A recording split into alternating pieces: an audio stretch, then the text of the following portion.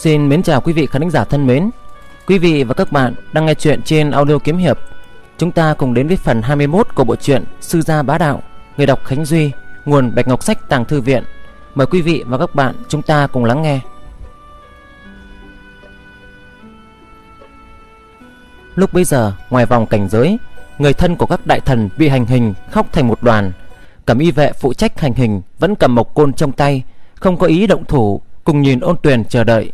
Ôn tuyền từ từ bước đến một người trong đội ngũ chuẩn bị chịu đình trượng, nhìn người đó một cái, cất giọng the thế với vị âm kéo dài. Đánh cho ta! Vài người thân ngoài vòng cảnh giới lập tức hoan hô, một mực cảm tạ trời đất, cảm tạ thánh ngân. Mạnh thiên sở có điểm không hiểu sao bị đánh mà còn cảm tạ. Hai trong bốn cẩm y vệ liền dơ côn lên đánh lốp bốp lia lịa. Côn mang theo tiếng gió, nghe ra rất khủng bố. Khi đập vào mông kêu đánh bốp rất to. Nhưng nghe vị đại thần đó kêu la, không thê thảm gì mấy. Ôn tuyển tiếp tục đi dọc theo đội ngũ nằm chờ. Mỗi khi đi tới trước một đại thần, liền hô một tiếng, Đánh Khi hô được ba tiếng, Y đến trước mặt người kế tiếp Đổi lại hô, đánh thật năng.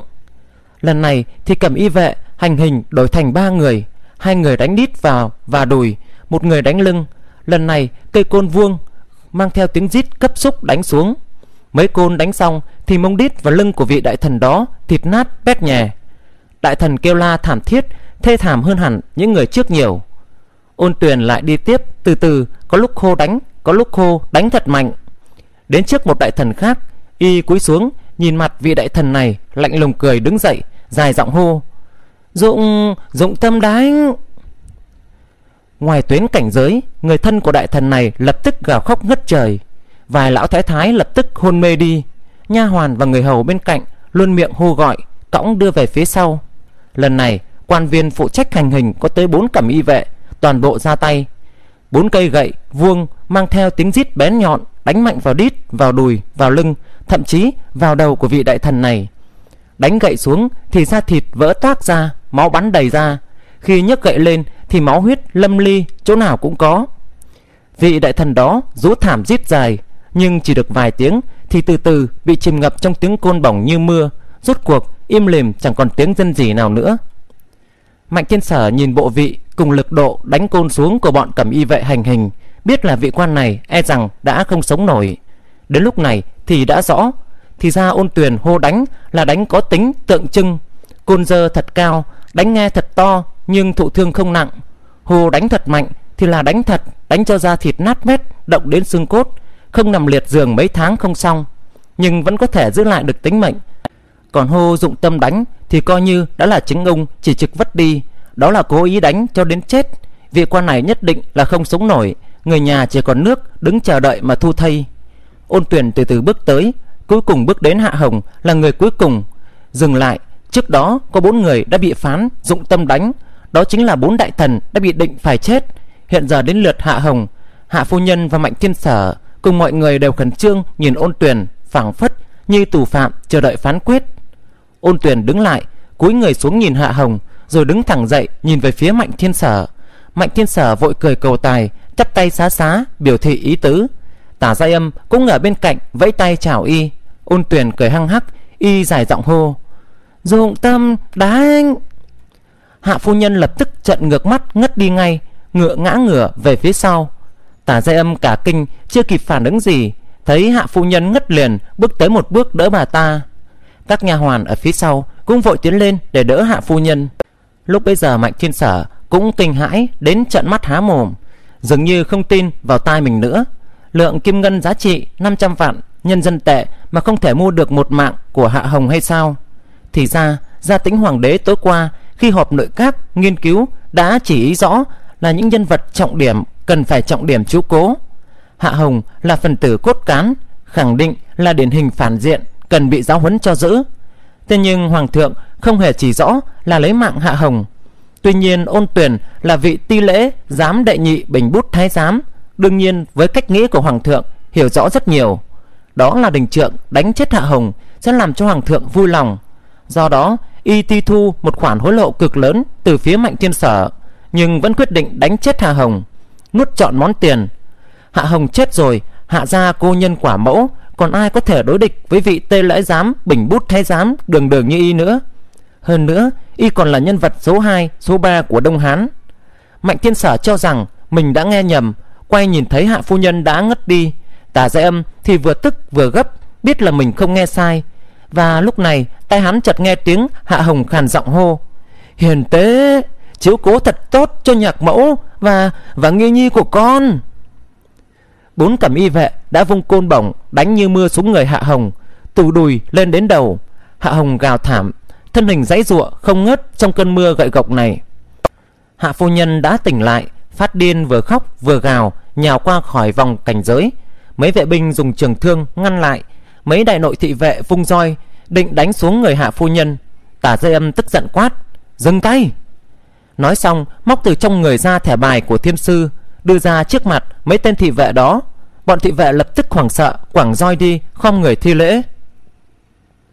Nhân lúc này, Hạ phu nhân đã xông vượt qua khỏi giới tuyến, Nhào đè lên người Hạ Hồng, Một tay ôm trượng phu, Một tay hô loạn khóc gào. Đừng đánh nữa, Đừng Đừng đánh nữa! Mấy cẩm y vệ vội ngừng tay, Đưa mắt nhìn thái giám ôn tuyển Ôn tuyển đã ngồi xuống ghế thái sư Thấy tình cảnh này liền hư một tiếng Ngước đầu lên bảo máu kéo mụ ra. Mấy đại nội thị vệ Sau y vội bước tới Túm lấy hạ phu nhân đang có sức dãy giụa Hất lôi ra ngoài. Dừng tay. Tả giai âm quát lớn Đưa cao yêu bài của thiên sư đi nhanh tới. Không muốn mất mạng Thì mau bỏ hạ phu nhân xuống. Những đại nội thị vệ đương nhiên biết kháng cự lệnh của thiên sư là bị ghép vào tội kháng chỉ sẽ bị chém cả nhà, liền bỏ hạ phu nhân ra, cùng thân thi lễ lùi qua một bên. Ôn tuyển vội đứng dậy đi tới, cùng tay nói: Vũ Linh thiên sư, người ta đây là phụng chỉ hành hình, thiên sư Ta không ngăn ngươi hành hình, ta chỉ là bảo ngươi tôn trọng hạ phu nhân một chút. Tả Dâm tuy là thiên sư nhưng cũng không thể chống lại thánh chỉ đình trượng của hoàng thượng. Mạnh Thiên Sở cũng gấp rút xông tới, không kịp lý luận với ôn tuyền, cúi người xuống xem xét tình huống của Hạ Hồng. Thấy trên người ông ta đầy máu, sau đầu đã bị đánh hai côn, người đã rơi vào trạng thái bán hôn mê. Ôn tuyền không lạnh, không nhiệt nói. Thiên sư, phiền ngài đưa bọn họ lui ra đi, nếu như ảnh hưởng đình trượng, chỉ sợ, chỉ sợ mọi người đều không dễ trả lời với hoàng thượng đâu. Tả giai âm đương nhiên biết sự lợi hại bên trong, không còn cách nào nữa, chỉ còn ngồi xuống nói với hạ phu nhân Phu nhân, chúng ta hãy lui ra, Nếu không tội xông vào quấy nhiễu hình trường, Là tội mà chúng ta không chịu nổi đâu. Trong lúc nói chuyện, Nàng quay lưng lại với ôn tuyển, Móc từ trong người ra một bình thuốc nhỏ, Đổ ra ba viên dược hoàn nhỏ xíu, Bỏ vào miệng Hạ Hồng, rồi bấm huyệt. Hạ Hồng trong tình trạng bán hôn mê, Đã vô thức nuốt thuốc vào. Động tác này rất khéo, Lại được nàng dùng thân che mắt ôn tuyển, Nên y không hề phát hiện ra. Mạnh thiên sở chuyển thân, nói với các nha hoàn ở phía sau. Các ngươi mau vào đưa phu nhân ra. Hạ phu nhân vẫn gào khóc không chịu đi Nhưng các nha hoàn dùng sức lôi kéo Cuối cùng bà ta cũng dãy giụa Bị đưa ra ngoài vòng cảnh giới. Mạnh thiên sở cũng lui ra theo. Tả gia âm bước vài bước ra ngoài Quay lại lạnh lùng nói với ôn tuyền. Giỏi, giỏi lắm Ôn công công quả nhiên lợi hại. Ôn tuyền ra cười mà thịt chẳng cười. Thiên sư Người ta chẳng qua là thân bất do kỳ thôi nhưng mong thiên sư thông cảm cho. Song nghi quay lại, Lệnh cho cẩm y vệ tiếp tục hành hình. Tả dây âm trở về cạnh Mạnh Thiên Sở, Ở ngoài vòng cảnh giới. Mạnh Thiên Sở hạ giọng hỏi, Cô vừa rồi cho nhạc phụ ta uống gì đấy? Tả dây âm thở dài, Tục mệnh kim đan là do sư phụ ta phối trí, Dùng để cho người sắp chết giữ mạng, Hy vọng có thể giúp ông ấy Chịu đến khi về nhà, Nói vài lời di ngôn. Côn bổng của cẩm y vệ tiếp tục đánh xuống người Hạ Hồng như mưa. Hạ phu nhân thét gào như xé lòng nát dạ. Cuối cùng thì đình trượng hành hình cũng xong toàn bộ. Ôn tuyển đứng dậy trở về hoàng cung. Vòng cảnh giới vượt triệt, những người thân đang chờ đợi nóng lòng vội ùa tới, chia nhau vây quanh người thân của mình. Tiếng khóc vang lừng khắp nơi. Mạnh Thiên Sở và Tả Dây Âm xông lên trước nhất. Mấy cú nhảy đã tới bên cạnh của Hạ Hồng. Mạnh Thiên Sở sờ mũi của Hạ Hồng chẳng có chút ký tức gì không khỏi lạnh cả người. Hắn sờ mạch ở cổ, Dường như có nhịp đập, Chỉ có điều yếu ớt như không. Lúc nào cũng có muốn dừng lại, Xem ra là nhờ ba viên tục mệnh kim đan Vào miệng là tan của tả dây âm Mà giữ được chút hơi sức cuối cùng. Hạ phu nhân tức gì sụm xuống, Môi run run, chẳng nói được lời nào. Mạnh tiên sở vội lệnh cho người hầu Khiêng hạ hồng lên cáng mềm, Nhanh chóng khiêng chạy tới xe ngựa Dừng lại xa xa. Tả Giai Âm cũng đỡ Hạ Phu Nhân Nhanh chóng theo sau. Cáng mềm vừa tới cạnh xe ngựa, Mạnh Thiên Sở đã ấm Hạ Hồng, Đặt lên vào trong. Cùng Tả Giai Âm, Lão Lăng Trung lên xe, ra lệnh nhanh chóng đưa về phủ. Đồng thời, nói với Lão Lăng Trung tưởng văn, Phiền Lão Tiên Sinh, mau cho thuốc cầm máu cho Lão ra nhà tôi. Tưởng Lăng Trung vốn định nói, Người chết rồi đắp thuốc có ích gì, Nhưng lời vừa tới miệng liền dàn lại, Lắc đầu, Tay chân nhanh nhẹn, lấy thuốc trị thương ra, Đắp lên miệng các vết thương. Thuốc trị thương này thật linh nghiệm, Máu tươi nhanh chóng đã được cầm lại. Mạnh thiên sở mở dương pháp y ra, Lấy dụng cụ, nghe khí kiểm nghiệm, hoạt thể, Vẫn còn nghe được nhịp tim rất yếu của Hạ Hồng. Bây giờ mới hơi thở phào. Hạ Hồng tuy còn sống, Thế nhưng ông ta bị thương vô cùng trầm trọng. Tuy máu ở ngoài đã được cầm, Nhưng từ máu chảy ra, Từ mũi miệng và vật ói mửa Cho thấy phần đầu và nội tạng Đã bị chấn thương trầm trọng. Xe ngựa nhanh chóng về đến hạ phủ. Hắn phụ khiêng Hạ Hồng vào ngay phòng khách. Tưởng lão Lăng Trung tiến hành kiểm tra tử tế xong Lắc lắc đầu nói với Hạ Phu Nhân Hạ Đại Nhân thụ thương quá nặng Những vết thương trầm trọng như vậy Vốn đã không sống nổi mà về đến nhà. Không biết là vì cớ gì Mà đến bây giờ vẫn còn mạch yếu ớt. Chỉ có điều lúc nào cũng có khả năng đoạn tuyệt. Ai, thương quá nặng Lão hổ vô năng Thật là xin lỗi. Xin hãy chuẩn bị hậu sự đi. Hạ phu nhân xé lòng khóc lớn, Nha hoàn người hầu cũng khóc thành một đám. Mạnh tiên sở biết Hạ Hồng bị thương nặng như vậy, Cho dù ở xã hội hiện đại, Dù là cấp cứu kịp thời, Khả năng tử vong cũng rất cao. Huống chi hiện giờ là Minh Triều từ mấy trăm năm trước.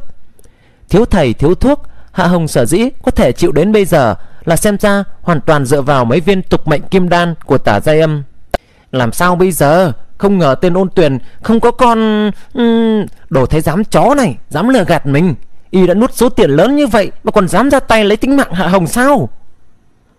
Tuy điều này không thể trách Mạnh Thiên Sở Nhưng hắn dù sao cũng cảm thấy có lỗi với Hạ Hồng. Mạnh Thiên Sở cắn răng Bản thân hắn dù gì cũng tốt nghiệp đại học y Đã từng thực tập lâm sàng. Tuy loại thủ thuật ngoại khoa này Không phải là chuyên môn của hắn Hắn chỉ giỏi chăm bệnh cho người chết Lại không có thuốc men hiện đại.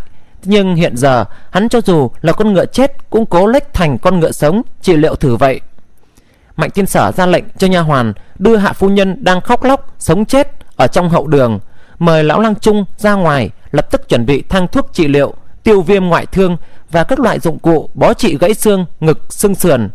Sau đó nhờ tả dây âm cho Hạ Hồng uống thêm vài viên tục mệnh dược hoàn. Trong bình nhỏ của tà dây âm chỉ có 5 viên thuốc nhỏ, vừa rồi đã cho Hạ Hồng uống ba hoàn. Hiện giờ nghe Mạnh Thiên Sở bảo vậy, cũng không hỏi là vì sao đem hai viên còn lại cho Hạ Hồng dùng. Tiếp theo đó Mạnh Thiên Sở để cho tả giai âm ra ngoài chờ. Trong phòng khách chỉ còn lại một mình hắn. Hắn bắt đầu tiến hành kiểm tra Hạ Hồng Phát hiện xương sọ của Hạ Hồng bị dạn Xuất huyết trong hộp sọ Xương ngực, xương sườn bị gãy nhiều chỗ Xuất huyết nội. Các nội tạng đã bị tổn thương Ra sao vẫn chưa thể xác định Cần phải thủ thuật ngay. Trước khi thủ thuật có hai vấn đề cần phải giải quyết. Thứ nhất, Hạ Hồng mất một lượng máu rất lớn, Đã xuất hiện triệu chứng choáng ngất. Nếu không giải quyết vấn đề truyền máu E rằng chỉ cần mở lồng ngực ra Thì người đã mất máu quá nhiều mà chết ngay. Thứ hai, ma túy. Nếu như không có ma túy Thì cũng sẽ vì đau đớn quá mà choáng rồi chết. Rất may là trong dương pháp y của hắn Có thiết bị truyền máu. Mạnh thiên sở lập tức xét nghiệm nhóm máu của Hạ Hồng, Sau đó gọi nha hoàn và người làm trong nhà lại hết. Nhanh chóng lấy máu hóa nghiệm Rất may nhóm máu của Hạ Lão Gia Không phải là loại hiếm Nên hắn nhanh chóng thu thập được một số máu lớn chuẩn bị truyền máu cho ông ta. Còn về ma túy thì rất may là tả giai âm lần này có đem một số viên nha phiến. Hắn hỏi xin mấy viên trùng vào trong nước cho dung hòa rồi trích vào dưới da cho hạ hồng. Thành phần chủ yếu của nha phiến là morphine, có tác dụng giảm đau rất mạnh. Tuy nó không thể sánh với các chất ma túy bây giờ, nhưng hoàn toàn có thể thỏa mãn yêu cầu cơ bản về ma túy. Còn về sau này Hạ Hồng, lão gia tử có bị nghiện nha phiến hay không thì sau này hãy tính. Trong quá trình này, Mạnh Thiên Sở đã nấu mọi dụng cụ phẫu thuật để khử trùng. Bản thân cũng dùng nước tiêu độc rửa tay, mang găng tay phẫu thuật vào. Rất tiếc là Phi Yến và Mộ Dung Huỳnh Tuyết không có ở đây, nên không có ai giúp hắn phẫu thuật, chỉ đành tự mình hắn thực hiện mà thôi. Không có y dược hiện đại hỗ trợ phẫu thuật, không có chuyên viên gây mê hồi sức, không có dụng cụ phẫu thuật hợp tay, không có trợ thủ, mọi thứ đều đơn giản cùng cực. cho nên mọi sự chỉ còn trông chờ và tạo hóa dành cho Hạ Hồng. Rất may là Mạnh Thiên Sở là một pháp y thời hiện đại, kinh nghiệm và tri thức y học lâm sàng rất phong phú. Một pháp y giỏi khẳng định là một bác sĩ lâm sàng giỏi, đặc biệt là bác sĩ ngoại khoa. Nhân vì y học lâm sàng là cơ sở của pháp y, là kiến thức cơ bản mà pháp y cần phải nắm vững trước. Thế nhưng ngược lại, một bác sĩ lâm sàng nếu như không kinh qua học tập kiến thức chuyên môn về pháp y thì sẽ không thể lập tức trở thành một pháp y giỏi. Hai ngành này có quan hệ cơ sở và thượng tầng. Hạ phu nhân khóc mệt rồi chuẩn bị ra lo liệu hậu sự. Bây giờ mới biết con rể một mình trong phòng độc lập cứu chữa hạ lão gia tử. Bà ta đương nhiên không biết Mạnh Thiên Sở có dành y thuật hay không. Nhưng đối với bà ta lúc này có một chút hy vọng thì cứ bám víu vào. Cho nên bà ta cùng tả giai âm, tưởng lang trung và rất nhiều nha hoàn, người hầu dõi mắt trông chờ ở ngoài. Lúc này, địch thôi quan cùng những người thường ngày đi lại rất thân với Hạ Hồng cũng đã đến, đều mang theo nhang nến, tiền giấy, chuẩn bị giúp lo liệu hậu sự. Khi họ nghe Hạ Hồng còn chưa chết, lúc này con rể còn đang cứu trong phòng, đều tập phần kinh ngạc, cũng cùng Hạ Phu Nhân ngồi ở ngoài chờ. Từ trưa chờ đến mặt trời xuống núi, cửa phòng cuối cùng cũng đã mở ra. Mạnh thiên sở, người đầy máu bước ra, thần tình mệt nhọc vô cùng, ngồi phạch xuống bậc cửa.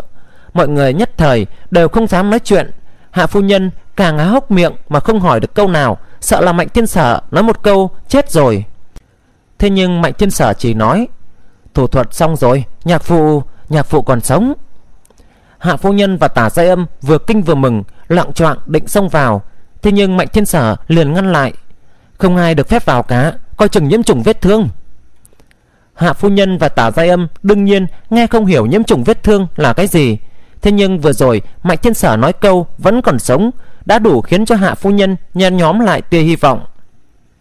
Mạnh Thiên Sở nói với Lang Trung, Thang thuốc đề phòng vết thương phát viêm đã chuẩn bị xong chưa? Tưởng Lang Trung đối với lời của Mạnh Thiên Sở vừa rồi bán tín bán nghi. Ông ta không tin, Hạ Lão Gia Tử còn chống chịu được đến bây giờ. Theo kinh nghiệm của ông ta, lúc này thân thể của Hạ Lão Gia Tử đã chết cứng rồi mới phải. Thế nhưng khi nghe lời hỏi của Mạnh Thiên Sở Ông ta cũng bất giác gật đầu. Vậy ông mau tiến vào Bắt thuốc tiêu viêm đi. Lão Lăng Trung vội dùng thuốc nước rửa tay Bảo tiểu dực đông của mình Bưng thuốc cùng vào phòng khách. Thấy Hạ Hồng vẫn còn thở yếu ớt Sợ giật cả mình.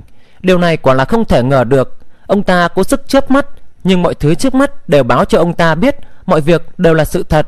Người vốn phải chết giờ vẫn còn sống nhăn Trên cánh tay của hạ lão gia tử Còn treo một bọc huyết dịch cực to đang tiếp tục chảy từ từ vào huyết quản của ông ta. Lão Lăng Trung càng kinh ngạc hơn khi nhìn thấy cảnh này. Ông ta đương nhiên không thể hiểu tri thức về việc truyền máu, cũng không biết đây là trò gì. Kinh ngạc nhìn chung quanh một lúc nhưng vẫn không hiểu ra, mới nhìn Mạnh Thiên Sở dò hỏi. Mạnh Thiên Sở đang quan sát ông ta, thấy vậy miễn cưỡng cười. Ông không cần quản mấy thứ này, cũng đừng động tới nó, chỉ làm việc của ông đi. Tuy không biết đó là thứ gì, nhưng hạ lão gia tử đích xác là còn sống. Điều này đủ để lão lăng trung kinh ngạc Và tin vào tài y thuật của mạnh thiên sở. Những gì nhìn không hiểu Càng khiến cho ông ta có cảm giác thần bí hơn. Đối với y thuật và các kỹ thuật chuyên nghiệp Người cổ thường rất kỵ thăm dò thám thính người khác. Cái này gọi là ăn cắp nghề. Do đó ông ta không dám hỏi nhiều trong lúc kinh thán có dư Chỉ vội dẫn dược đồng đắp thuốc Đút thuốc cho hạ lão gia tử Trung nghi bỏ nhiều công nghiên cứu trong việc đề phòng vết thương phát viêm. Điều này xuất phát từ thời lãnh binh khí, hàng ngàn năm chiến tranh khiến công tác cứu trị tích lũy nhiều kinh nghiệm. Tưởng Văn là lão lăng trung vô cùng có tiếng ở kinh sư và đặc biệt là giỏi về cứu trị tổn thương do đánh đập, tay chân lanh lẹ vô cùng. Ông ta đắp thuốc, bó thuốc xương ngực, xương sườn đã bị gãy, cố định xương và thân người vào cáng. Sau khi xong việc thì cũng mất cả thời thần. Mạnh Thiên Sở cũng nghỉ ngơi qua một lúc, Thấy một lượng lớn huyết đã dùng gần hết Hắn tiến hành lần lấy huyết thứ hai, Tiếp tục truyền cho hạ lão ra Sau khi xong mọi việc Thì đêm đã về canh hai, Mạnh thiên sở bây giờ mới để nha hoàn Dìu hạ phu nhân vào thăm hạ hồng Địch thơ quan và mọi người cũng tiến vào khi hạ phu nhân nhìn thấy hạ lão gia tử Vẫn còn hô hấp bình thường Và không ngừng nhíu mặt nhíu mày Mừng quá nhịn không được mà khóc Chuyển thân vịn tay của mạnh thiên sở nghẹn ngào không nói thành lời Địch thơ quan và mọi người đều lộ vẻ vui Cùng tràn đầy kính nghĩ nhìn Mạnh Thiên Sở Từ trước tới giờ Chưa có ai có thể bảo toàn mạng sống khi bị cẩm y vệ dụng tâm mà đánh trong hình phạt đình trượng. Không biết anh con rể trước đây mỗi khi hạ đại nhân nói tới là nhíu mày, lại sao lại làm được như vậy?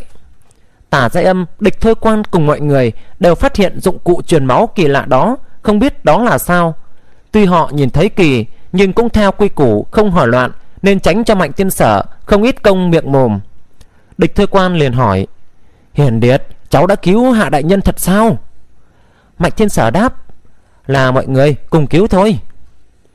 Đây là lời thật, vì nếu không có tục mệnh kim đan của tả dây âm duy trì tâm tạng của hạ hồng không ngừng đập, nếu như không có nha phiến của tà dây âm Nếu như tưởng lăng trung không có thuốc để đề phòng phát viêm vết thương Thì chỉ cần thiếu một thứ Hạ Hồng khó bảo toàn tính mệnh. Mạnh thiên sở cười gượng Các vị thúc bá Nhạc phụ của cháu hiện giờ cần nghỉ ngơi. Thỉnh các vị về đi Chờ người bình ổn thương thế rồi Các vị hãy đến thăm tiếp. Địch thơ quan cùng mọi người nghe thế Đều cáo từ với hạ phu nhân rồi bỏ đi. Mạnh thiên sở biết Lúc này, Hạ Hồng đang ở tình trạng nguy hiểm cao độ. Thủ thuật có thành công hay không là còn phải xem tình huống mấy ngày sau thế nào, Xem coi sinh mệnh thể của ông ta có ổn định hay không. Thường các triệu chứng phát sinh ngoài dự liệu Vẫn còn có thể lấy mạng của bệnh nhân, Cho nên công tác hậu phẫu là tuyệt đối không được lơ là. Mạnh thiên sở ra lệnh cho nha hoàn và người hầu Chuẩn bị hai cái giường trong phòng khách, Một cái cho tưởng lăng trung, Một cái cho hắn.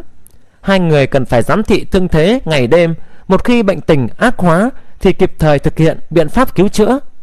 Tả gia Âm cũng đòi chuẩn bị một cái giường cho nàng, nàng cũng muốn canh giữ phụ.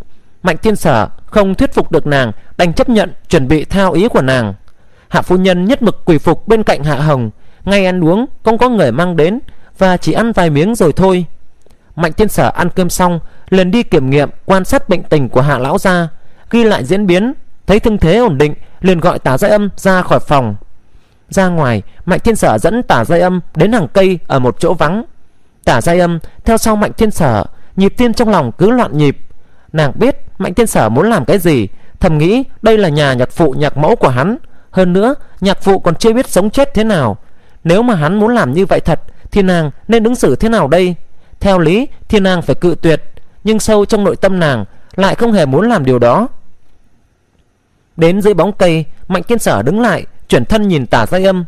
Tim tả giai âm đập như con nai nhỏ, đứng cách hắn xa xa mấy bước, mặt nóng bừng, lời nói có phần hoảng loạn. Huynh huynh huynh định làm gì? À cô đừng đứng xa thế, sợ ta ăn thịt cô sao? Không cần lo, ta vừa ăn lo rồi. Tả giai âm chừng mắt nhìn hắn, bước lên trước một bước. Có chuyện gì thì nói ra đi, chúng ta còn đi trông chừng bá phụ nữa kìa. Mạnh thiên sở liền nói, gọi cô tới Chính là vì một chuyện. Hãy giúp ta nghĩ biện pháp Giết tên cẩu thế giá môn tuyển đó đi. Tả gia âm à một tiếng. Thì ra là chuyện này. Thế mà nàng lại nghĩ đâu đâu. Trong đêm tối nàng cảm thấy mặt đỏ bừng Ngẫm nghĩ một chút rồi nói. Ta, ta cũng hận tên cẩu thái giám đó. Nếu hắn không thể giúp Hoặc không nguyện ý giúp Thì đêm qua nên nói cho chúng ta biết Để chúng ta còn nghĩ biện pháp. Nếu không được thì cùng lắm là xông vào hoàng cung Diện thánh cầu xin. Nhưng hắn làm như thế là suýt chút nữa Hải bá phụ chết rồi. Ừ thu tiền rồi, Mà không làm cũng được đi, Còn không nói cho chúng ta một tiếng. Rõ ràng là khi phụ chúng ta không có người, Chẳng làm gì hắn được.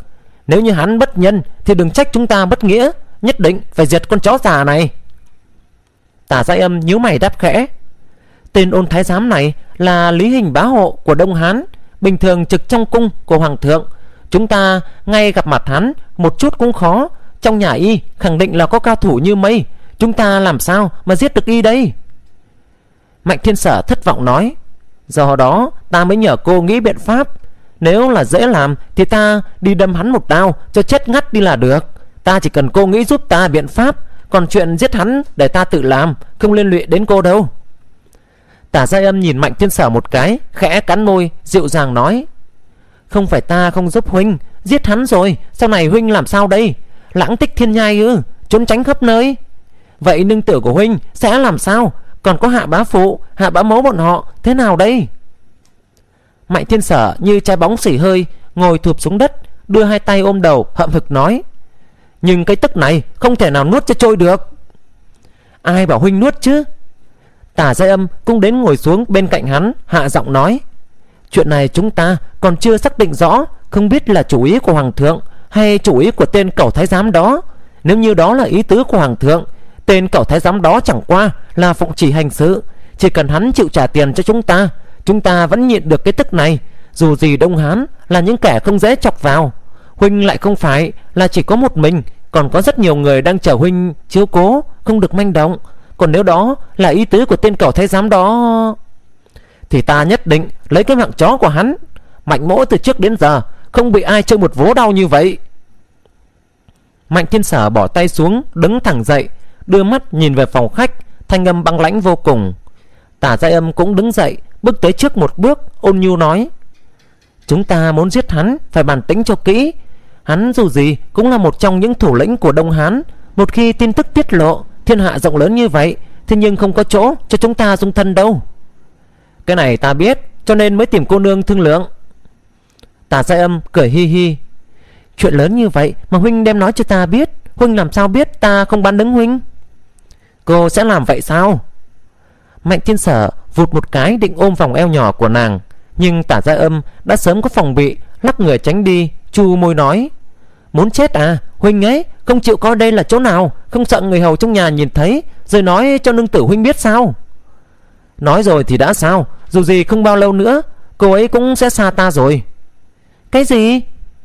Tả Giai Âm đương nhiên không biết, Hạ Phượng Nghi và Mạnh Thiên Sở có ước pháp tam trương Chuyện này ngoài Phi Yến ra, Không còn người nào biết nữa, Cho nên kinh ngạc hỏi, Muội ấy vì sao phải rời sao huynh? Nếu như tình cảm của hai bên Phát triển thêm một bước, Thì chuyện này sớm muộn gì Tả Giai Âm cũng được cho biết. Mạnh Thiên Sở không muốn nói ngay bây giờ, Miễn cưỡng cười. Nguyên nhân rất phức tạp, Sau này rồi hãy nói đi. Chuyện tên nôn tuyền cầu thái giám đó Làm sao bây giờ? Tả Giai Âm cũng biết hiện giờ không phải là lúc nói những chuyện riêng tư, gật gật đầu ngẫm nghĩ, xong rồi nói: "Như vậy đi, ta đi tìm Ôn Tuyền, tranh thủ lấy số bạc đó về, bất quản có là chủ ý của hắn hay không, số kim ngân lớn như vậy không thể để hắn chiếm xuống, sau đó ta sẽ đi làm rõ coi chuyện này rốt cuộc là như thế nào." Bạc không phải là cô đưa, hắn không biết quan hệ của hai chúng ta, hắn có trả cũng không thể trả cho cô. Tả Giai Âm vốn định hỏi một câu Hai chúng ta có quan hệ gì á? Nhưng dù sao hiện giờ Cũng không phải là lúc để nói những chuyện như vậy, Nên cười cười đáp, Có đạo lý, Vậy huynh đi tìm ôn tuyển, Ta đi tra nguyên ủy của sự tình này. Được, vậy nhờ cô. Mạnh thiên sở trở về phòng khách trước, Kiểm tra qua tình hình của Hạ Hồng, Thấy ổn định, liền yên tâm. Hắn nói với Hạ Phu Nhân là phải ra ngoài có chuyện, Rồi đi ngay. Hạ Phu Nhân hiện tại đã coi hắn là chỗ dựa cứu mệnh cho chồng Nghe thế lo lắng, nhìn Hạ Hồng, Đang nằm im lìm bất tỉnh, được truyền máu. Mạnh thiên sở buộc phải ăn ủi mấy câu, Nói bản thân sẽ nhanh chóng trở về, Sau đó cùng tả dây âm cưỡi ngựa Rời khỏi hạ phủ. Mạnh thiên sở dục ngựa chạy tới phủ của ôn tuyền, Trình bái thiếp lên, Các cổng hôm qua đã nhận thức hắn nói, Mạnh ra Công công của chúng tôi hôm nay Trực trong cung của hoàng thượng, Không có ở nhà. Mạnh thiên sở vô cùng thất vọng, Lại lo lắng cho thương thế của Hạ Hồng chỉ đành dục ngựa trở về hạ phủ. Rất may là thương tình của Hạ Hồng ổn định, Không có triệu chứng ác hóa. Hơn một thời thần sau Tả dây âm quay lại hạ phủ. Vừa nhìn thấy gương mặt xám xịt của tả dây âm, Mạnh thiên sở đã đoán ra kết quả. Nàng gọi mạnh thiên sở qua một bên, Hạ giọng nói, Quả nhiên là chủ ý của tên cậu thái giám ôn tuyển đó. Chuyện cụ thể ra sao? Mạnh thiên sở trầm giọng hỏi. Tả Giai Âm đem tình huống thám thính được nói ra, Mạnh Thiên Sở bây giờ mới biết Hoàng thượng không hề hạ lệnh đánh chết Hạ Hồng. Nhân vì tác dụng của đình trượng, Phần lớn là trừng phạt. Đối với các quan viên tứ phẩm bị bệnh nặng Hay tuổi già sức yếu Đều không tiến hành đình trượng. Án theo quy củ, Hoàng thượng không trực tiếp hạ lệnh đánh chết ai, Thường là do tuy lễ giám, Thái giám phụ trách Nắm cụ thể quá trình thực thi đình trượng. Trong tình huống bình thường, Bọn chúng sẽ suy đoán ý nghĩ của Hoàng thượng mà căn cứ vào đó hành hình.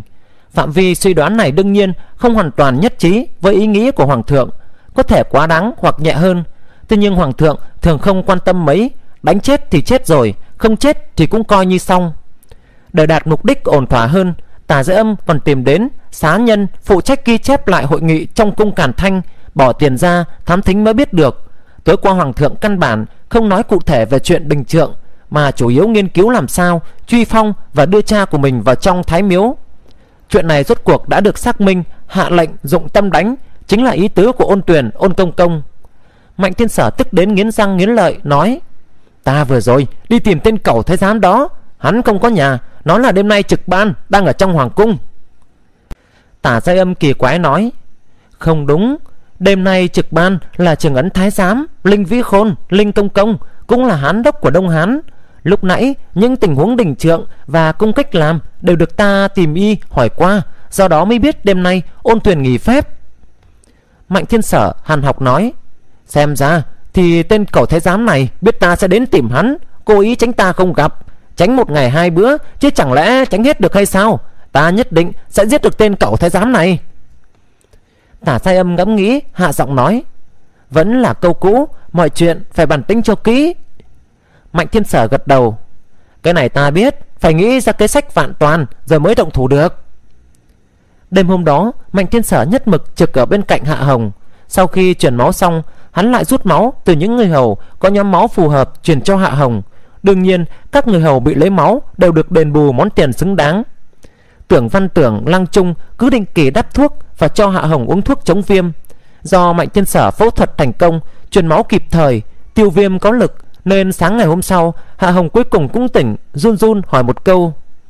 Ta, ta, ta chết rồi sao? Hạ phu nhân cả đêm không chợp mắt Nghe thanh ngâm yếu ớt của Hạ Hồng Nhịn không được Nước mắt giả ngang giả dọc Dịu dàng an ủi. Lão già Ông không sao cả. Rất may là hải tử thiên sở Đã cứu ông Còn có tả cô nương Tưởng lang trung nữa. Mạnh thiên sở đã khẽ nắm một tay Hạ Hồng. Nhạc phụ đại nhân Người cảm giác thế nào? Đau Đau lắm. Toàn thân Toàn thân đều đau. Tác dụng chấn tĩnh của nha phiến mất đi, Đương nhiên sẽ cảm giác vết thương đau vô cùng. Đây là triệu chứng bình thường của cơ thể, Mạnh thiên sở khẽ nói. Nhạc phụ yên tâm đi, Người sẽ từ từ khỏe lại thôi. Hạ Hồng nắm chặt tay, Khóe mắt lăn dài, giọt lệ đục. Đa tạ, hiền tế, Đa tạ các ngươi. Đừng nói nữa, nhạc phụ, Lão dân gia người, hãy nghỉ cho khỏe. Mọi thứ rồi sẽ tốt lên thôi. Nghi nhi đâu? Nghi nhi của ta đâu?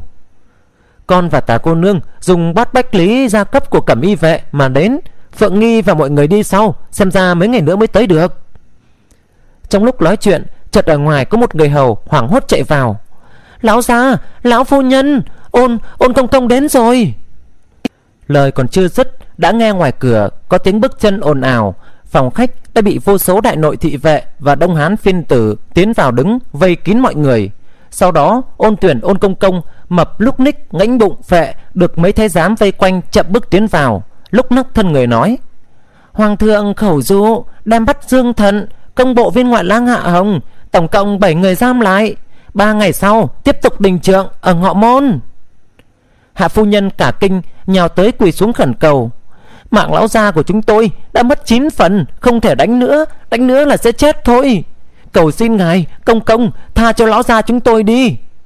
Nói xong quỳ xuống, Dập đầu lia lịa, Nước mắt như mưa. Ôn tuyển nếu như có thể, Bị mấy giật lệ làm cho cảm động, Thì không thể trở thành nhân vật số 3 của Đông Hán được. Y lạnh lùng, hư một tiếng quát. Đây là thánh chỉ của Hoàng thượng, Ai dám kháng chỉ không tuân? Mang đi. Mấy thái giám xông lên, Định nhấc người và giường đi luôn. Hạ phu nhân ôm chân giường, gào khóc không buông. Mạnh tin sở bước tới một bước Liền nói, Chậm đã. Ôn tuyền lơ mắt nhìn Mạnh Thiên Sở. Sao hả? Ngươi muốn kháng chỉ sao? Mạnh Thiên Sở bước tới trước mặt ôn tuyền, Khom người nói, Kháng chỉ thì tiểu nhân vạn lần không dám. Công công, Nhạc phụ của tôi hiện tại Toàn là dựa vào nhân sâm để cầm cự. Hiện giờ nếu mang đi E rằng không đến ba ngày sau, Chưa chịu đình trượng là thắt thở rồi. Ôn tuyền hừ mạnh một tiếng cho dù khiêng lão đi, Vừa ra cửa là chết ngay, Thì cũng là mạng của lão. Người ta đâu có quản nhiều chuyện như vậy. Người ta chỉ biết phụng chỉ hành sự thôi. Ai dám cản trở, Chính là kháng chỉ. Giết tại chỗ, miễn bàn Mang đi. Chờ đã. Mạnh thiên sở lại bước lên một bước, Nói với ôn tuyển Công công, Nhạc phụ của tôi vừa mới tỉnh lại. Ngài có thể để chậm hơn nửa ngày, Để có thời gian vận dò hậu sự. Chưa mai rồi hãy bắt giam được không? Tiếp đó, hắn hạ giọng nói, Tiểu nhân Tiểu nhân lập tức đến phủ bái tà đại ân của công công liền. Nói xong, Hai tay của hắn khẽ ra dấu hình cái nguyên bảo, Lén vàng lén bạc. Ôn tuyền lập tức hội ý, Cười âm hiểm, Lướt nhìn mạnh tiên sở một cái, Ho khan một tiếng. Ừ cũng được, Cho các ngươi nửa ngày, Trưa ngày mai sẽ đến bắt giam. Muốn làm chuyện gì thì hãy làm cho sớm đi nha. Dạ dạ. Mạnh tiên sở khom người Ôn tuyển quay qua lệnh cho một đại nội thị vệ Và đông hán phiên tử lưu lại Ở ngoại phòng khách canh chừng. Sau đó dẫn những người khác phánh bụng đi về. Tả giai âm bước tới Đỡ hạ phu nhân dậy. Hạ phu nhân khóc lóc nói Như vậy, như vậy làm sao bây giờ?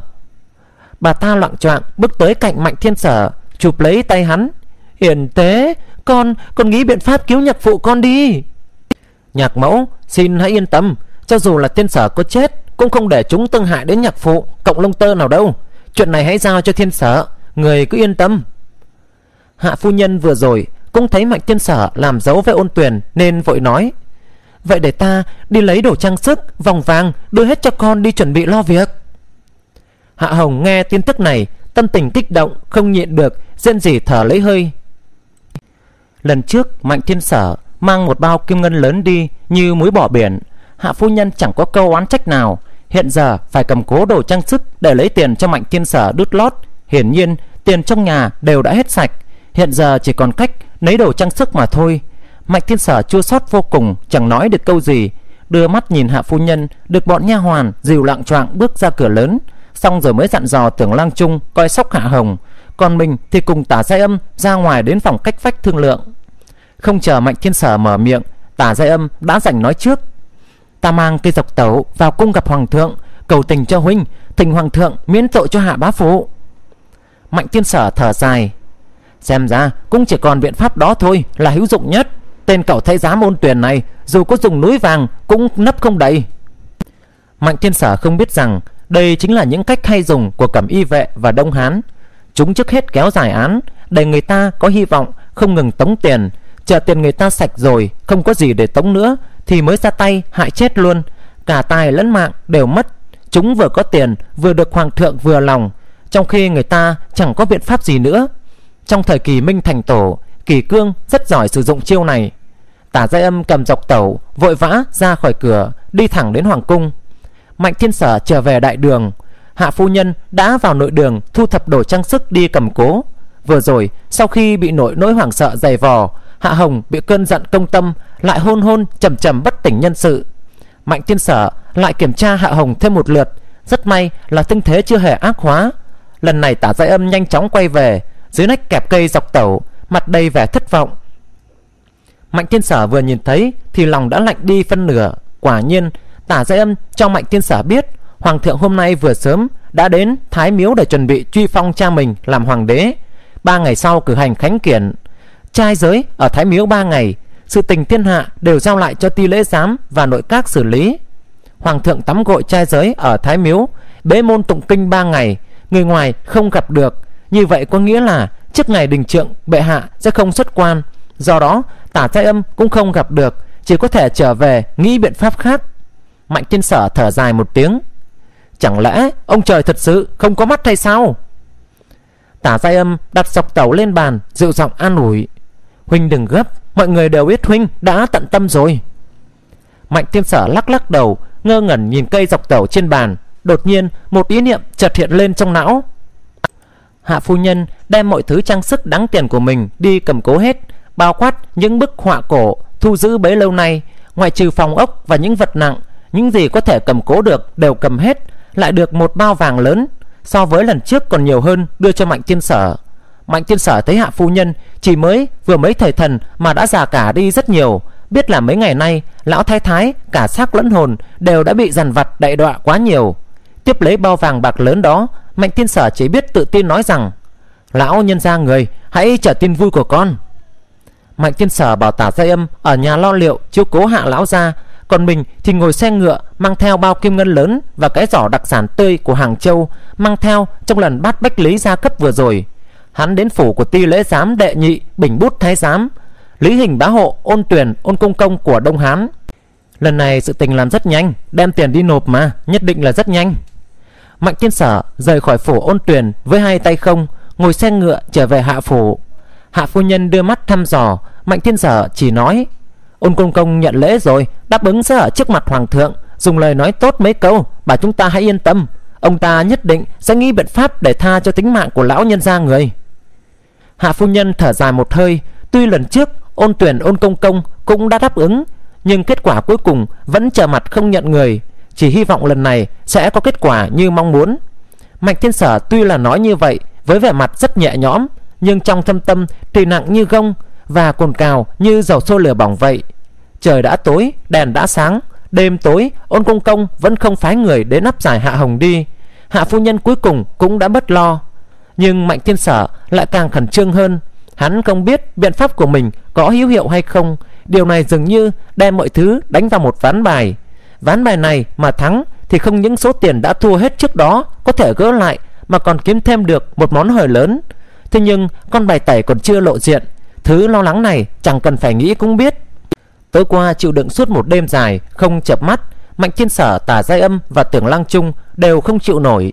Sau khi Mạnh Thiên Sở kiểm tra thêm một lần nữa, thương thế của Hạ Hồng vẫn ổn định, không có triệu chứng ác hóa, liền quyết định luân lưu ngủ một chút. Mạnh Thiên Sở và bọn nha hoàn cứ một thời thần thì gọi hắn dậy để kiểm tra qua một lượt, biểu hiện sự sống của Hạ Hồng, không có gì mới ngủ tiếp.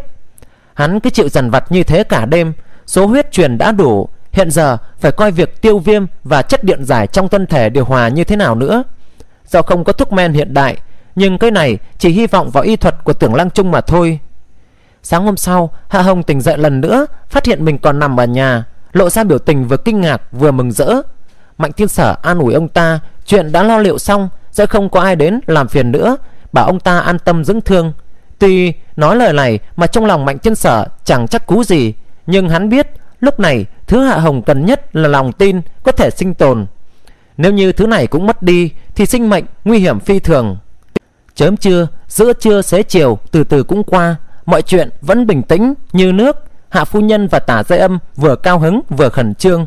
Sợ đột nhiên có vô số quân sĩ tiến vào Đem Hạ Hồng đi đình trượng. Cho đến tối cuối cùng có người đến. Nhưng đó không phải là binh sĩ Mà là hai tiểu thái giám trong phủ của ôn công công. Tiểu thái giám dẫn đầu Tươi cười vui vẻ nói với Mạnh Thiên Sở. Mạnh ra Công công chúng tôi thỉnh ngài đến phủ Chơi một chút. Ôn tuyển thỉnh mạnh tiên sở đến làm khách. Hạ phu nhân và tả gia âm đều kinh ngạc, Không biết tên ôn tuyển này Đang giả trò gì. Chỉ có mạnh thiên sở là mừng như điên trong lòng, Vì điều này cho thấy kế hoạch của hắn đã thành công một phần lớn. Tả gia âm hạ giọng nói với mạnh thiên sở, Ta đi với huynh. Mạnh thiên sở tuy biết âm mưu của mình có khả năng là đã thành công, Giống như đang sờ ngón tay vào con bài tẩy, Cảm giác như đã tìm thấy được con bài mình muốn tìm, Nhưng dù gì cũng chưa lật bài lên. Mọi thứ hiện tại đều là suy đoán. Nếu như có vị thiên sư tả gia âm này có mặt Lại có con vương bài này Như vậy cũng được thêm một phần đảm bảo. Ôn tuyển sẽ không dám làm quá Cho nên hắn gật đầu ngay. Ngành tiếp mạnh thiên sở chỉ có một cái kiệu Do đó tả gia âm ngồi kiệu Của hạ gia theo hắn đến phủ của ôn tuyển Xuống kiệu tiến vào trong phủ Tiểu thái giám không hề dẫn họ vào phòng khách mà đi thẳng vào hậu đường. Tả gia Âm vô cùng kinh ngạc, Mạnh Thiên Sở thì lòng càng chắc cú hơn, thậm chí đắc ý làm mặt xấu với Tả Giai Âm. Tả Giai Âm không minh bạch Mạnh Thiên Sở vì sao lại cao hứng như vậy. Lúc này không phải lúc hỏi, nhưng xem vẻ của hắn như vậy dù sao cũng hơn nhiều so với vẻ mặt sầu khổ nhăn nhó. Phù của ôn tuyền lớn hơn của Hà Hồng rất nhiều, cũng ngảo hoa khí phái hơn. Dù gì thì đây cũng là ti lễ giám bình bút thái giám được tin dùng trước mặt hoàng thượng là nhân vật số 3 của Đông Hán lại không biết là đã bóc lột vơ vét của dân bao nhiêu rồi. Xuyên qua vô số lầu đài, đình cát, cầu thang kiểu khúc, cuối cùng họ cũng đến được hậu đường đầy hương hoa cẩm tú. Tiểu thái giám trước hết mời hai người vào phòng khách sau ngồi một chút, rồi chạy vào phòng bẩm báo, lát sau đi ra thưa. Mạnh gia, thiên sư, thỉnh hai vị vào. Mạnh thiên sở và tả giai âm chậm bước vào phòng, chỉ thấy ôn tuyền ngồi trên một cái ghế thái sư, mặt không biểu tình, hai mắt hơi nhắm, thân hình hơi run run. Mạnh Thiên Sở bước tới cung tay xá. Công công, tại hạ theo lời triệu đến đây, không biết công công có ý gì sai bảo. Ngồi đi. Ôn Tuyền vẫn hơi khép mắt, nói giọng đã khản hơn, âm thanh không giấu được sự run run. Hai người ngồi một chỗ, Ôn Tuyền phẩy phẩy tay ra sau, thái giám hầu hạ hai bên đều lùi ra khỏi phòng, đóng cửa lại. Lại chờ một chút nữa, Ôn Tuyền mới từ từ mở mắt, nhìn chậm chậm vào Mạnh Thiên Sở. Mạnh huynh đệ Tối qua ngươi đưa cho người ta đặc sản Hàng Châu Có phải là cho thêm thuốc gì đó vào không Mạnh thiên sở, đến lúc này triệt để yên tâm, Vén đi bảo lên, gác chân chữ ngũ, Xong lại nhàn nhã bỏ vạt áo xuống, Dè già đáp. Những ngày trước, Tại hạ thấy công công ngày đêm cực nhọc, Mệt mỏi vô cùng, Khổ nhọc thập phần. Do đó đã tự tiện, Hiếu kính ngài một ít đặc sản hàng châu, Và trong số bột củ sen Tây Hồ, Có thêm một chút tiêu giao tán. Công công, Đó là thứ rất tuyệt à Công công dùng vào rồi, Có phải là thần khí thanh sáng, Tinh thần gia tăng bách bội không? Ôn tuyển hừ một tiếng. Tuy là thứ tốt, Nhưng mạnh huynh đệ dùng thủ đoạn này Cho người ta dùng vào, Xem ra là có chút bị ổi đó nha. À Tại hạ cũng là vì hảo tâm, Vì thân thể của công công mà nghĩ thôi.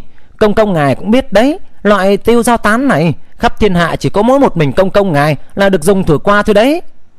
Ừ Mạnh huynh đệ đối với thị hiếu của người ta Nắm rõ như trong lòng bàn tay, Biết người ta đặc biệt thích dùng bột sen Tây Hồ, Do đó đã bỏ trong đó Tiêu tiêu cái gì đó? Tiêu giao tán Công công dùng vào rồi Có phải là cảm thấy tiêu giao vạn phần không? Nói cho đúng Thì từ tối qua đến giờ Tinh thần người ta như thay đổi hẳn Cảm giác như phiêu phiêu Lâng lâng Giống như đằng vân giá vụ vậy Đích xác là vô cùng dễ chịu. Nhưng đến lúc tối Thì cứ ngắp phạt hoài Lại hay chảy nước mắt mũi Váng đầu Đổ mồ hôi Tứ chi đau nhức. Không biết vì cớ gì mà gọi Gọi thái y vẫn không ra Ra chứng bệnh Người ta nghĩ kỹ, Xem ra là bột sen Tây Hồ. Có vấn đề, Do đó mới tỉnh Mạnh Huynh tới. Muốn hỏi nguyên do, Thì ra là Mạnh Huynh đệ, Quả nhiên chơi đòn hiểm với người ta. Mạnh thiên sở vội đứng dậy Không người thi lễ. Công công, nặng lời rồi. Tài hạ đích xác là muốn lo dùm cho công công. Lại sợ công công sinh nghi, Không chịu dùng. Chứ đành phải nảy ra ý định, Dùng tới hạ sách này thôi. Thỉnh mong công công thứ tội cho. Rất may đây là một thứ tốt, Thật sự. Công công nghĩ có phải không? Ôn công công ngáp dài, Gật gật đầu, Trong mắt như nảy đom đóm. Lời Mạnh Huynh nói, quả là thật tình. Được thôi, Chuyện này người ta không chi cứu nữa. Món tiêu giao tán của huynh đệ, Còn nữa không?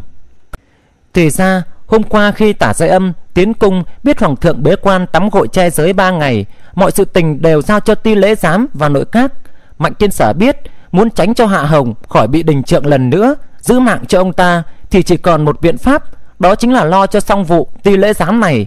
Hai ngày nay, sau khi giao thiệp với bình bút, thái giám thứ hai của tiêu lễ giám là ôn tuyền. Mạnh thiên sở đã biết, ôn tuyền chính là con hổ biết cười. Tiền có nhiều nữa, Đi chăng nữa cũng chỉ là đủ lấp cái miệng của y. Cho nên hắn quyết không dụng tiền đi ném sông ném biển nữa, Mà phải đi đường vòng lấy độc trị độc. Hôm qua trong khi thương lượng với tả giai âm, Hắn nhìn cây tẩu hút, Lập tức nghĩ ra được một biện pháp lấy độc trị độc. Đó là dùng độc phẩm, Khiến ôn tuyền mắc nghiện. Sau đó bức bách đi nghe theo. Dùng thứ nha phiến sơ cấp này, Đương nhiên là không được, Bởi vì mùi của nha phiến rất hôi thối, Gây phản cảm ở người. Điều chủ yếu là, lúc đầu nếu dùng nha phiến Thì chỉ bằng vài lần sẽ không bị nghiện, Phải nhiều lần sau mới từ từ phụ thuộc vào nó. Mạnh tiên sở không có nhiều thời gian như vậy. Cần phải đạt được loại độc dược, Độc phẩm có độ thuần cực cao, Khiến y chỉ cần dùng một lần là nghiện ngay, Đó là heroin. Bạch phiến, heroin được trích xuất từ nha phiến rất may lần này mang theo khá nhiều nha phiến, Dùng nha phiến để luyện heroin có độ thuần cao đối với mạnh thiên sở, Chỉ là cho còn con. Và thế là mạnh thiên sở xin tả giai âm một số viên nha phiến Vào phòng của mình đóng cửa lại, Tiến hành tinh luyện heroin. Rất nhanh sau đó, hắn đã rút trích được một lượng heroin kha khá. Khi rời khỏi Hàng Châu, Kha Chi Phủ có nói, Một trong bình bút thái giám tên là Ôn Tuyền là người Hàng Châu, Rất thích đặc sản quê nhà Đặc biệt là bột củ sen Tây Hồ. Trong khi đó, hắn lần này dùng bắt bách lý gia cấp, Mang theo toàn là đặc sản tươi mới của Hàng Châu. Ở kinh thành căn bản không thể mua được. Do đó, Mạnh Thiên Sở đoán là ôn tuyển tuyệt đối không chống cự được sự dụ hoặc của món đặc sản này, Quyết định ở trong bột củ sen trộn thêm vào thật nhiều heroin, Sau đó đem tặng ôn tuyển. Ôn tuyển đương nhiên sợ chết, Do đó khẳng định là sẽ lo sợ trong số đặc sản của Mạnh Thiên Sở có hạ độc. Thế nhưng Mạnh Thiên Sở dám khẳng định ôn tuyển cuối cùng nhất định sẽ ăn vào. Vì ôn tuyển vốn nhiều mưu mẹo, lại biết suy xét, Khẳng định sẽ suy ngẫm đến mấy điều sau. Trước hết, Mạnh Thiên Sở đem tống tặng một bao kim ngân giá trị mấy trăm vạn Là để cầu y tha cho tính mệnh của Hạ Hồng. Nên mục đích này chưa đạt thì chưa thể hạ độc giết y, Bởi vì như vậy chẳng khác nào giết Hạ Hồng. Kế đến, số đặc sản hàng châu này là do Mạnh Thiên Sở tống tặng. Đây là điều hiển nhiên, Người trong phủ ai cũng biết. Nếu như ăn vào món hắn tặng mà chết đi Thì bản thân hắn chạy trời không cởi nắng Thứ ba cũng là điều trọng yếu nhất đó là ôn tuyển có những thái giám chuyên môn thử trước các món ăn của mình. Hoàng thượng sợ người hạ độc, các món ăn khi ăn đều trước hết có người chuyên môn ăn thử trước mặt. Khi không có chuyện gì rồi, hoàng thượng mới ăn. Tên ôn tuyển này sợ chết nên cũng dùng chiêu này. Những món ăn y ăn vào đều cho một tiểu thái giám ăn trước, khi không việc gì rồi thì y mới ăn.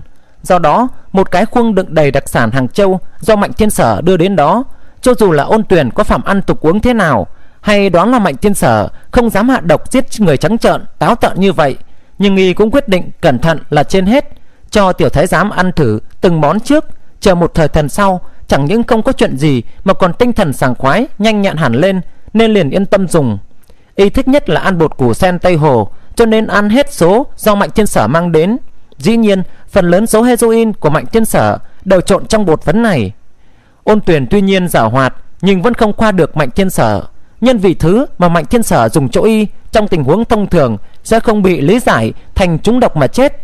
Tuy cuối cùng cũng khiến người chết, nhưng phần lớn tình huống là không phải trúng độc trực tiếp mà là chức năng của cơ thể suy kiệt hay là phát những chứng bệnh hay cảm nhiễm gì đó.